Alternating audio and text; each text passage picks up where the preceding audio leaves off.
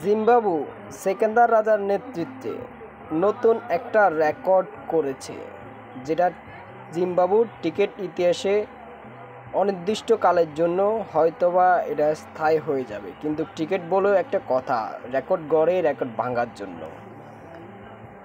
Zimbabwe T twenty তাদের ক্যারিয়ারে দুইশো ছিয়াশি রানের করে।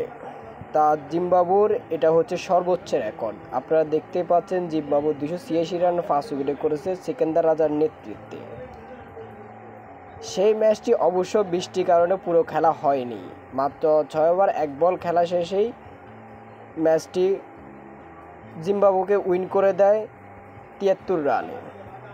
তো জিম্বাবু এমন একটি দল যেটা অনেক বছর আগে থেকেই ক্রিকেটের সাথে জড়িত।